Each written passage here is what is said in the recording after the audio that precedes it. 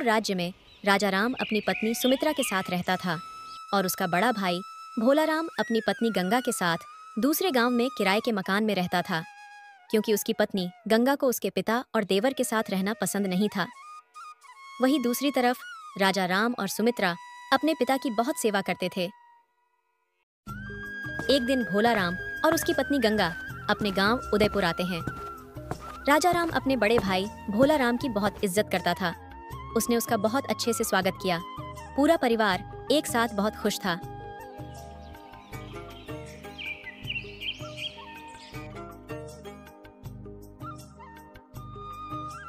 सुनिए जी आज भगवान के दर्शन के लिए हमें मंदिर जाना है। लेकिन सुमित्रा हम मंदिर कैसे जा सकते हैं?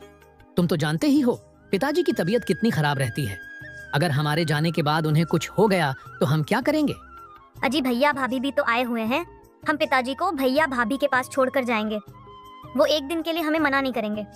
थोड़ी ही देर है तो बात है। हम दोनों तुरंत ही वापस आ जाएँगे। ठीक है सुमित्रा। तुम जाकर भैया भाभी को बुला लो। फिर हम दोनों मंदिर चलते हैं। थोड़े ही देर बाद राजा राम और उसकी पत्नी सुमित्रा मंदिर के लिए निकल जाते हैं।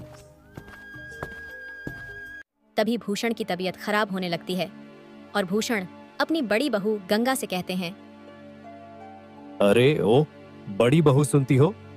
अरे क्या हुआ बुढ़े? सुनो बड़ी बहू लगता है मेरा अंतिम समय आ गया है। मेरी तबीयत ठीक नहीं लग रही है। तुम जल्दी से राजा राम और सुमित्रा को घर वापस बुला लो।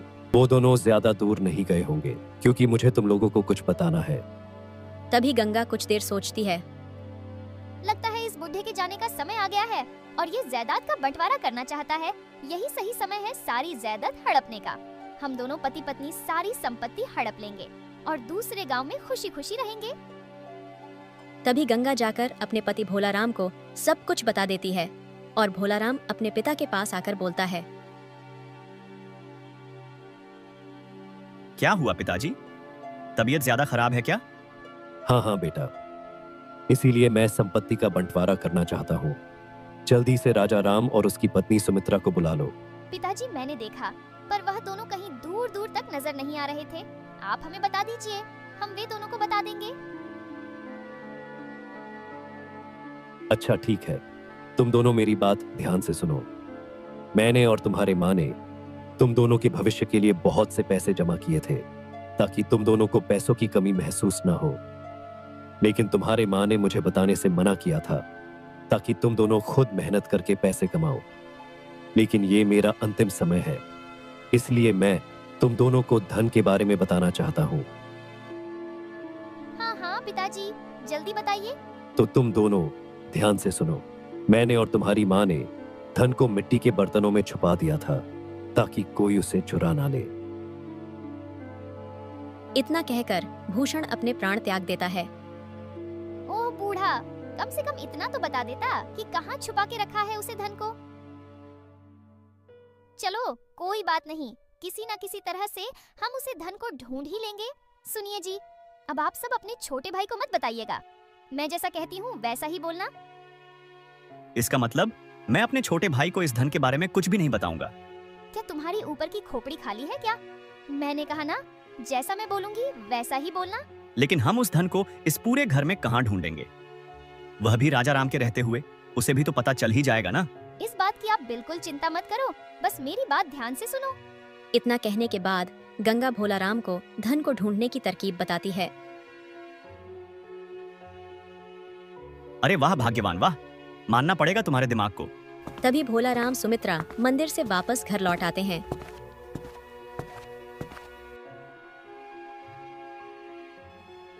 अरे पापा जी क्या हो गया आपको? पिताजी आप हमें छोड़कर क्यों चले गए? अब हमारा क्या होगा पिताजी? तभी यह सब देखकर राजा राम कहता है। पिताजी उठ जाओ पिताजी। भाई ये सब कब हुआ? तुम्हारे आने से दस मिनट पहले। पिताजी की तबीयत बहुत खराब हो गई थी और पिताजी हमें छोड़कर चले गए। पिताजी मुझे माफ़ कर दो। मैं आपके आखिरी पलों में आपके साथ नहीं था। मुझे माफ़ कर दो पिताजी। मुझे हमेशा इसका अफसोस रहेगा। दोनों भाई मिलकर अपने पिता का अंतिम संस्कार कर देते हैं। धीरे धीरे दिन बीतते हैं और उनके पिता के सारे क्रियाकर्म खत्म हो जाते हैं। धीरे धीरे घर खाली सा हो जाता है। फिर एक दिन भोलाराम अपने छोटे भाई राजाराम से कहता है,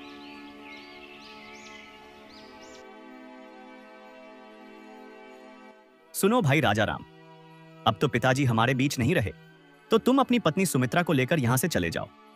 क्योंकि पिताजी ने सारी जायदाद और यह घर मेरे नाम कर दिया है। क्योंकि उनके आखिरी समय में मैं उनके साथ था इसलिए अब तुम इस घर में नहीं रह सकते हो। ये सब सुनकर राजाराम बहुत परेशान हो जाता है। उसे कुछ समझ में नहीं आ रहा होता कि वह अब क्या करे। थोड़ी देर सोचने के बाद राजा राम कहता है अरे भैया आप क्या बोल रहे हैं? पिताजी मेरे साथ कभी ऐसा नहीं कर सकते थे। वह तो मुझसे बहुत प्यार करते थे। अरे देवर जी ऐसी बात नहीं है। आपके भाई बिल्कुल सही कह रहे हैं। पिताजी कह रहे थे कि राजा राम को मेरी बिल्कुल भी चिंता नहीं है। ऐसे बीमार होते हुए भी मुझे छोड़ कर चला गया। हम पिताजी के अंतिम समय में उनके साथ थे। हमने उनकी सेवा की। इसीलिए उन्होंने अपनी सारी संपत्ति हमारे नाम कर दी। नहीं भाभी ये गलत है। पिताजी मेरे साथ ऐसा कर ही नहीं सकते। राजा राम मैं जानता था कि तुम हमारी बात का भरोसा नहीं करोगे। इसलिए मैंने हमारे गाँव के मुखिया को बुलाया है। अब वही फैसला करेंगे।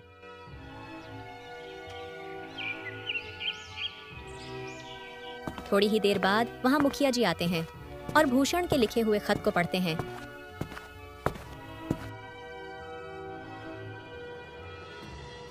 मैं भूषण, इस कागजात में जो कुछ भी लिख रहा हूँ, वो अपनी मर्ज़ी से लिख रहा हूँ।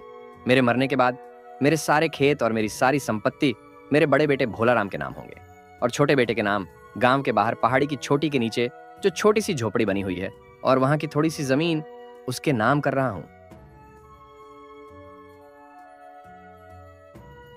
मुखिया जी क्या कागज़ पर जो लिखा है क्या सच है कि उसे मेरे पिताजी ने लिखा है? राजा राम ये तो मुझे भी समझ में नहीं आ रहा है कि तुम्हारे पिताजी ने तुम्हारे साथ ऐसा क्यों किया। लेकिन इस खत में जो भी लिखा है वह तुम्हारे पिताजी ने ही लिखा है और उसके बाद अपना अंगूठा भी लगाया है। अरे मुखिया जी इसकी वजह मैं बताता हूँ। मेरा भाई राजाराम और उसकी पत्नी सुमित्रा मेरे पिताजी का बिल्कुल भी ध्यान नहीं रखते थे। और तो और उन पर बहुत अत्याचार भी करते थे। पिताजी की तबीयत खराब होते हुए भी ये लोग बाहर घूमने चले गए। इसलिए पिताजी इनसे बहुत नाराज़ थे। मैंने और गंगा ने पिताजी की बहुत सेवा की। इसलिए पिताजी ने सारी संपत्ति मेरा नाम कर दी है। नहीं मुखिया जी ये सब झूठ है। मैं और मेरी पत्नी पिताजी का बहुत अच्छे से ख्याल रखते थे और पिताजी हमारे साथ खुश भी थे। हाँ राजा राम तुम बिल्कुल सही कह रहे हो लेकिन मैं कुछ नहीं कर सकता। हमारे पिताजी ने साफ़ साफ़ लिखा है और सबूत के तौर पर अपना अंगूठा भी लगाया है। इसीलिए मैं इस मामले में कुछ नहीं कर सकता। मुखिया के इतना कहते ही भोलाराम और गंगा बहुत खुश हो जाते हैं। तभी भोलाराम मुखिया से कहता है मुखिया जी अब आप राजा राम को साफ़ साफ़ बता दीजिए कि वह अपनी पत्नी को लेकर यहाँ से चला जाए। भैया ये आप क्या कह रहे हैं? मैं आपका छोटा भाई हूँ पिताजी मुझसे नफरत करते थे तो क्या हुआ? आप तो मुझे अपना पास रख सकते हैं ना? इन सभी बातों को सुनकर मुखिया बोलता है राजा राम तुम्हारे पिता के लिखे वसीयत के अनुसार गाँव के बाहर की झोपड़ी और थोड़ी सी ज़मीन तुम्हारी है। तुम अपनी पत्नी को लेकर वहाँ चले जाओ। लेकिन मुखिया जी वो झोपड़ी तो पूरी तरह से खराब है। हम भला वहाँ कैसे रहेंगे? अरे इसमें गलत क्या है? तुम लोगों को वैसा ही परिणाम मिला जैसा तुमने पिताजी के साथ किया और हमें भी वैसा ही परिणाम मिला जैसा हमने पिताजी के साथ किया। नहीं भाभी आप बिल्कुल झूठ बोल रही हैं। पिताजी हमारे साथ ऐसा नहीं कर सकते। पिताजी हम दोनों से बहुत प्यार करते थे। और हम लोग भी पिताजी की बहुत सेवा करते थे। देखिए मुखिया जी इन्हें दोनों को समझ दीजिए कि यहाँ पर खड़े होकर हम दोनों से बहस ना करें और चुपचाप यहाँ से चले जाएँ। देखो राजा राम तुम्हारे पिता के जैसे वसीयत के अनुसार यह घर तुम्हारे बड़े भाई के नाम है। अगर वो लोग नहीं चाहते तो तुम लोग यहाँ नहीं रह सकते। तुम्हें यहाँ से जाना ही होगा। मैं इन्हें अपने साथ नहीं रखना चाहता मुखिया जी क्योंकि इन्हें पिताजी के साथ बहुत बुरा व्यवहार किया है। क्योंकि इन्हें पिताजी के साथ बहुत बुरा व्यवहार किया है। इन्हें तो अपनी गलती की सजा मिलनी ही चाहिए।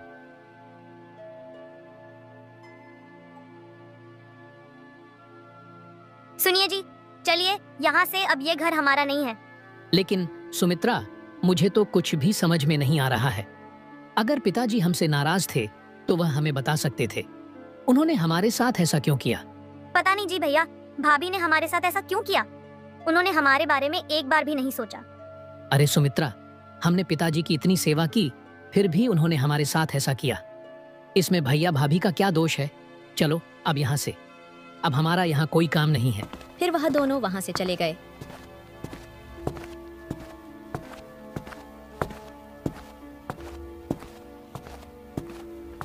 तभी भोलाराम अपनी पत्नी गंगा से कहता है अरे वाह भाग्यवान। क्या दिमाग है तुम्हारा? पिताजी की छुपाई हुई सारी जायदाद भी हमारी हो गई। और ये घर भी हमारा हो गया। अजी अच्छा हुआ कि हमने पिताजी के कागज़ बदल दिए और उन पर उनका अंगूठा लगवा लिया। अब संपत्ति हमारी है और मकान भी हमारा है। अब हम दोनों यहाँ आराम से रह सकते हैं। थोड़ी देर बाद मुखिया जी राजा राम के पास आते हैं। पता नहीं राजा राम तुम्हारे पिताजी को क्या हो गया था? तुम्हारे साथ ऐसा क्यों किया? ये बात तो मुझे भी समझ में नहीं आ रही है। वरना पूरा गाँव जानता है तुम्हारे पिताजी की सेवा सबसे ज़्यादा किसने की है? मुखिया जी मुझे ज़मीन जायदाद का कोई लालच नहीं है लेकिन पिताजी के मन में हमें लेकर इतनी नफरत थी यह बात मुझे अंदर ही अंदर खाई जा रही है। राजा राम अब मैं चलता हूँ। तुम्हें किसी भी चीज़ की ज़रूरत हो तो मुझे बता देना। इतना कहने के बाद मुखिया वहाँ से चला जाता है। राजाराम अपनी पत्नी सुमित्रा से कहते हैं सुमित्रा अब हम क्या करेंगे? मुझे बिल्कुल भी अच्छा नहीं लग रहा है कि पिताजी हमसे इतनी नफरत करते थे। नहीं नहीं ऐसी बात नहीं है। पिताजी तुमसे बिल्कुल भी नफरत नहीं करते थे। वे हमसे बहुत प्यार करते थे। तुम कल मुखिया जी के पास जाओ। वे तुम्हें कोई काम ज़रूर दिलवा देंगे। अब चलो अंदर चलते हैं और सफ़ाई करते हैं। सुमित्रा घर के अंदर जाती है और साफ़ सफ़ाई करने लगती है। थोड़ी ही देर बाद घर के अंदर से सुमित्रा आवाज़ लगाती है। राजा राम जल्दी से घर के अंदर जाता है।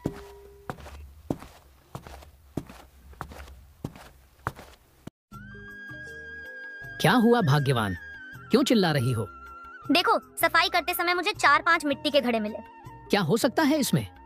खोल कर देखता हूँ। राजा राम उन घड़ों को खोलता है। वह सारे घड़े सोने के सिक्कों से भरे हुए थे। सुमित्रा अब मैं समझा कि पिताजी ने हमें ये झोपड़ी क्यों दिया। मैं अभी जाकर मुखिया जी को सारी बात बताता हूँ। फिर राजा राम मुखिया जी के घर जाता है और उन्हें सारी बात बताता है। तब मुखिया राजा राम के घर सोने के सिक्कों को देखने के लिए जाते हैं। कुछ ही दिनों में ये बात पूरे गाँव में फैल जाती है। एक दिन गाँव का एक आदमी भोलाराम के पास आता है और बोलता है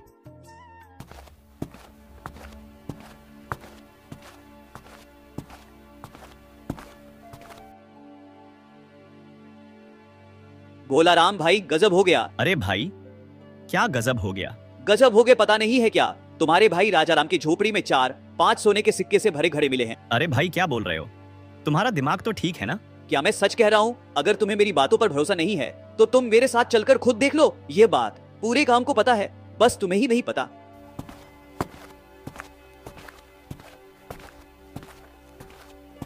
फिर भोला राम अपनी पत्नी के पास जाकर कहता है अरे गंगा पिताजी ने सारे मटके उसे झोपड़ी में ही छुपा कर रखे थे। चलो देखते हैं। और फिर वह दोनों राजा राम के घर जाते हैं। वहाँ पर पहुँच भोला राम अपने छोटे भाई से कहता है हाँ सब मेरा है। पिताजी ने मेरे लिए यह धन इस झोपड़ी में छुपा कर रखा था। इसका मतलब आपको खजाने के बारे में पहले से मालूम था? हाँ हाँ मुझे पहले से मालूम था। पिताजी ने मुझे पहले ही बताया था इस धन के बारे में। लेकिन ये नहीं बताया था कि यह धन कहाँ रखा हुआ है। आपने तो मुझे किसी खजाने के बारे में बताया ही नहीं। आप कैसे भाई हो? आप एक नंबर के मक्कार धोखेबाज और लालजी भाई हो। अरे राजा राम अगर मैं तुम्हें इसके बारे में बता देता तो तुम कब का इसको ले लेते? तभी पास में खड़े मुखिया जी बोल पड़े। भोला राम तुम धन को अपना साथ नहीं ले जा सकता। कानूनी तौर पर यह घर राजा राम का है। इसलिए इस धन पर भी उसका ही अधिकार। मुखिया जी कागजात नकली है। पिताजी के मरते समय हमने धोखे से उनका अंगूठा एक खाली पन्ने पर ले लिया था और उसकी मदद से सारे ज़मीन जायदाद अपना नाम कर ली थी। वाह भोला राम वाह। तो तुमने बहुत ही बड़ा पाप किया है। तुमने एक मरते हुए आदमी का अंगूठा लिया है। तुम्हें इसकी सजा ज़रूर मिलेगी। तभी गंगा बोली मुखिया जी हमें माफ़ कर दीजिए मुखिया जी। ये सब मैंने ही इनसे करने को कहा था। हमें माफ़ कर दीजिए। तुम लोगों को सजा तो ज़रूर मिलेगी। मैं तुम्हारी शिकायत उदयपुर के राजा महाराज कौशल देव के पास लेकर जाऊँगा। इसका मतलब पिताजी मुझसे नाराज़ नहीं थे। वह मुझे अपने आखिरी समय में भी याद कर रहे थे। हन भाई पिताजी तुमसे नाराज़ नहीं थे। वाह, अपने आखिरी समय में भी तुम्हें बुलाकर हम दोनों को खजाने के बारे में बताना चाहते थे, मगर मैं लालच में आ गया था। मुझे माफ़ कर दो मेरे भाई, मुझसे बहुत बड़ी गलती हो गई। आपने मुझे धन संपत्ति नहीं दी, इसका मुझे दुख नहीं है। लेकिन आपने मुझसे पिताजी के नाम पर इतना बड़ा झूठ बोला, इसके लिए मैं आपको कभी माफ़ नहीं करूँगा। आप एक नंबर के मक्कार धोखेबाज और लालची भाई हो। आपकी सजा यही है कि आप मुझसे बहुत दूर चले जाओ। भोला राम और गंगा के हाथ में कुछ भी नहीं लगता और दोनों वहाँ से चुपचाप चले जाते हैं। रामपुर नाम के एक गाँव में राजू नाम का एक किसान रहता था। राजू बहुत ही ईमानदार और दयालु था।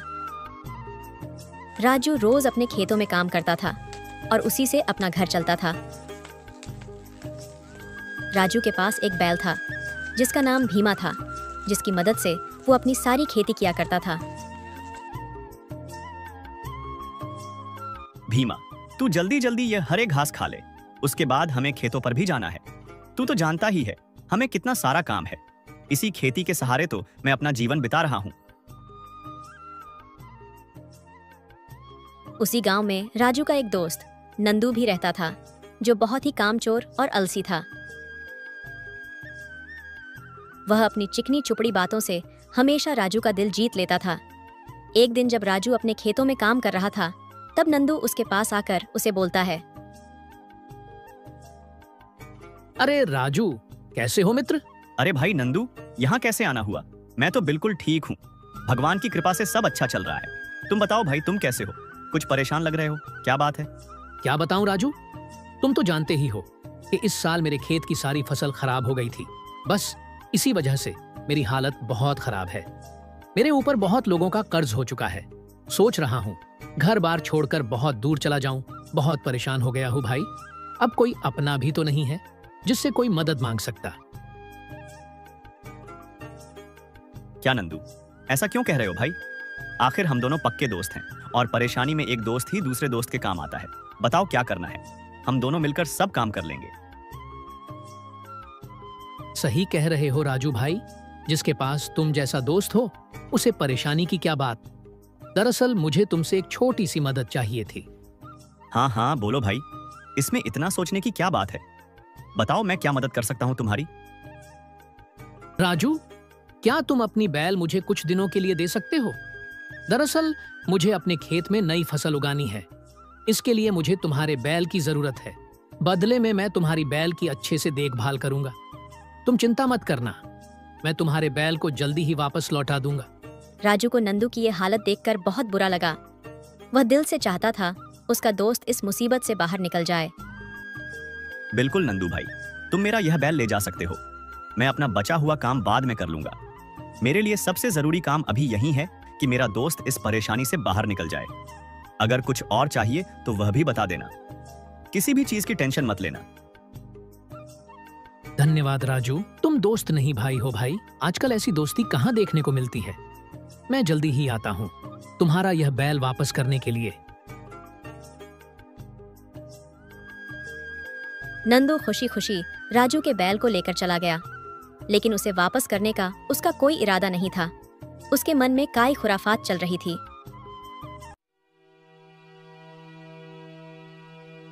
अरे वाह! मैंने राजू को कितना आसान से मूर्ख बना दिया। वैसे भी वह तो सीधा साधा है।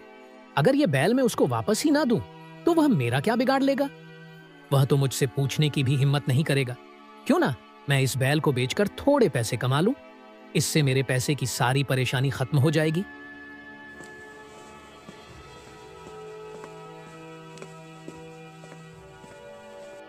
नंदू ने उस बैल को बड़े व्यापारी को बेच दिया। अरे वाह! आज तो मज़ा आ गया। इस बैल के तो अच्छे खासे पैसे मिल गए।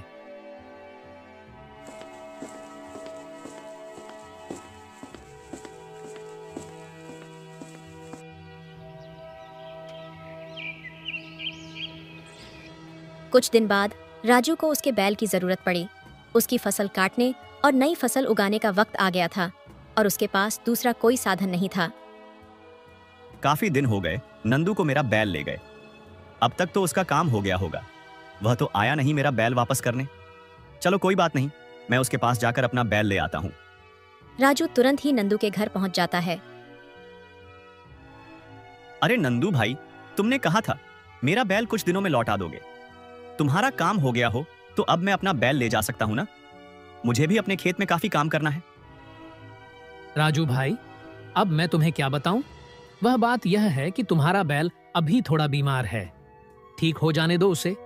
फिर मैं उसे पहुँचा दूँगा तुम्हारे पास। राजू को अपनी बैल की चिंता होने लगी। उसने सोचा कि अगर उसका बैल बीमार है तो थोड़ा इंतज़ार करना ही ठीक होगा। राजू ने उसकी बात पर भरोसा कर लिया और वापस लौट आया और उसने अकेले ही अपने फ़सल को काटा। कुछ दिन और बीत गए, लेकिन नंदू ने अभी तक उसका बैल वापस नहीं लौटाया था। राजू को खेत की जुताई के लिए उसकी बैल की ज़रूरत थी। इसलिए वह फिर से नंदू के घर गया। नंदू मुझे अपनी बैल की ज़रूरत है भाई। मुझे मेरा खेत जोतना है। क्या मेरा बैल अब ठीक हो गया है? क्या राजू भाई मैंने उसे अभी अभी बाहर चरने के लिए भेजा है। एक काम करो तुम कल आना। राजू को नंदू की बातों पर थोड़ा शक हुआ लेकिन उसने एक दिन और इंतज़ार करने का निर्णय लिया और वहाँ से चला गया। रास्ते में उसे एक बूढ़ा मिला। जिसने राजू को बुलाया और बोला राजू बेटा मैं तुम्हें रोज नंदू का घर जाते हुए देखता हूँ। शायद तुम्हें पता नहीं है कि नंदू ने तुम्हारी बैल एक बड़े व्यापारी को बेच दिया है। मैंने दूसरे गाँव के एक बड़े व्यापारी के साथ देखा था। बेटा तुम्हें उस दुष्ट नंदू की बातों में नहीं आना चाहिए था। बूढ़े आदमी की बातें सुनकर राजू की आँखों में आँसू आ गए। बाबा मैंने तो नंदू को अपना सच्चा दोस्त माना था लेकिन उसने तो मेरी दोस्ती का फ़ायदा उठाया है पर अब मैं ऐसा नहीं होने दूँगा। वह मेरा बैल खुद वापस लौट आएगा।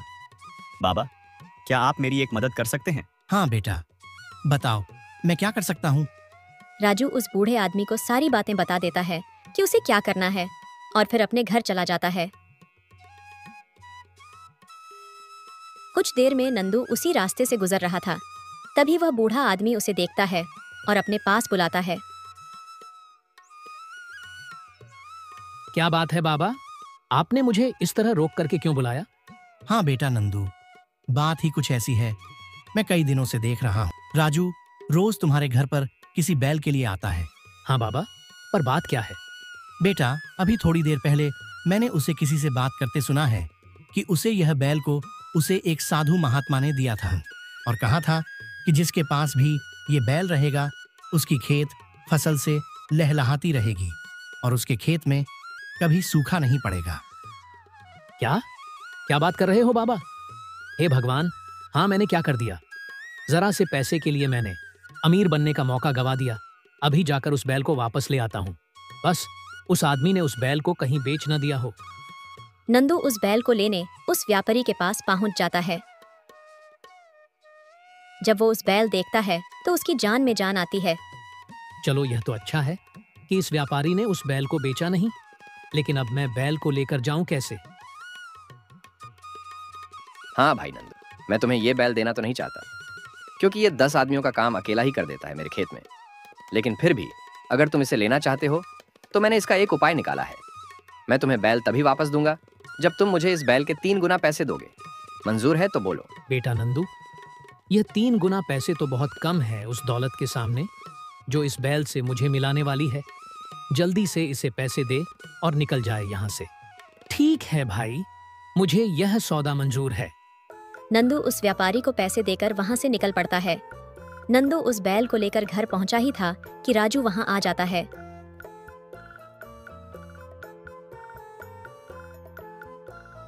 नंदू भाई लगता है मुझे आज मेरा बैल मिल ही जाएगा।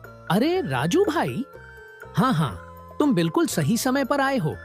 मैं तो इसे लेकर तुम्हारे पास ही आ रहा था। अच्छा हुआ कि तुम आ गए।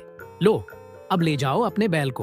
अब राजू अपने बैल को लेकर खुशी खुशी वहाँ से चला जाता है और नंदू मुँह ताकता रहता है।